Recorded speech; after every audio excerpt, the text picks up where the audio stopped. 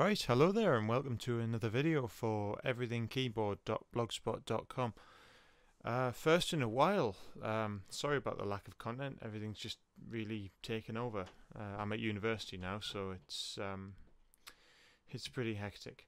What I want to talk about today though is uh, a piece of software called Reason 5.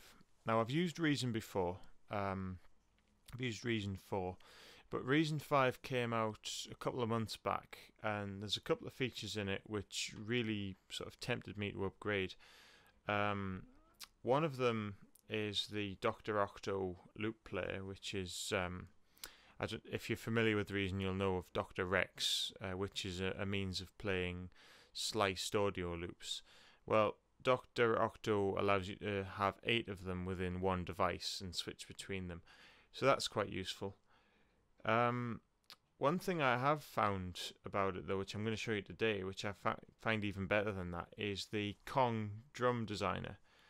Now, um, what this essentially allows you to do is um, it's basically the same sort of interface as an Akai MPC, but instead of it just being a basic sampler, what you can do is um, you can actually design drum sounds based on one of these modules. So we've got like a, a synthetic bass drum there, and uh, there's a snare drum. These are your hi hats and everything. Another snare, rim shot, some toms, sort of 80s Simmons styles.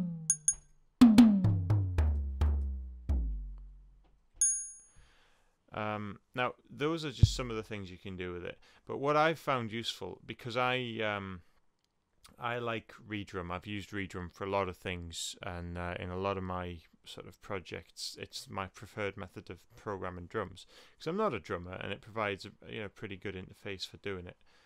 So if I flip around the back using Tab, you can see loads and loads of wires. Now these yellow wires are actually connecting the triggers from the um, the redrum unit into the pads on the Kong unit. And um, so if I go up and show you, if I open the mixer up first of all, and um, unmute the redrum, you see that if I press the bass drum pan on here, if I um, if I can use the keyboard to do it, no, no, the keyboard has seemed to stop working. Alright, well basically, if I click that, it triggers, but if I click this up here, underneath that sound, which I will mute, it triggers. So you can use the pattern sequencer. Now what I've done is um, just programmed a really basic sort of Kraftwerk style Motorik uh, drum beat you can see what it's doing here because quite helpfully it lights up the ones that are being triggered. So you can um, you can have that running round and round while you change a few things. So if I decide to change the snare drum for instance,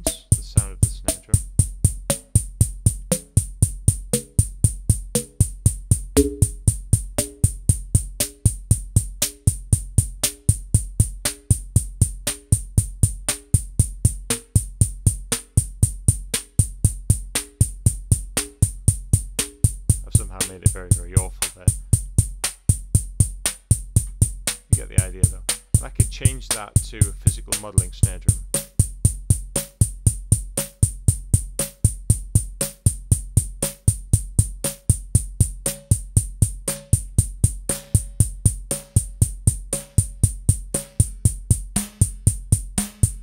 I had forgotten I had a ring modulator on it.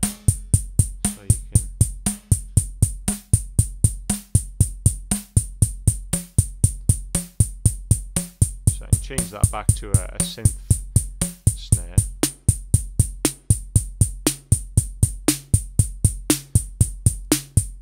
And there you go.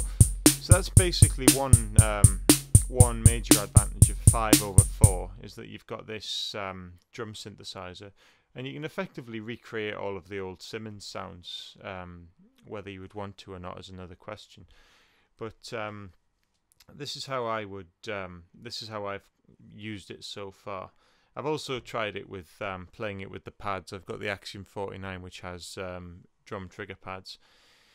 One disadvantage of using Redrum to trigger it is Redrum only has 10 slots, as you can see. So that is a disadvantage. But um, because this has got 16 different triggers.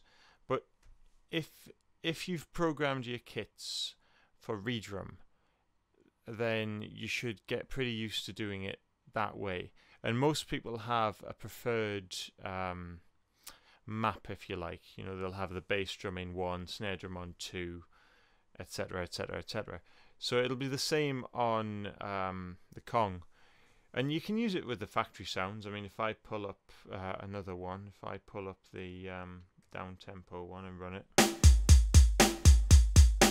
you get you can pretty much run it with any kit as long as you've got the wiring right in the back. I um what I've done is I've linked one to one, two to two. Uh, three is going to six because three is um, the uh, rim shot on the snare.